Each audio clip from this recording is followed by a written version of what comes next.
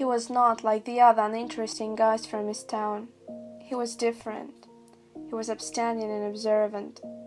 A positive thinker with a rich imagination was looking for spiritual pleasure, was looking for something that he hadn't access to, something that was forbidden for him by his aunt by assertion.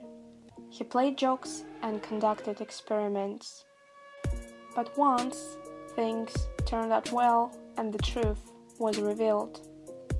The gates of Sooth were open for the boy who wanted to know the mystery of the lumber room.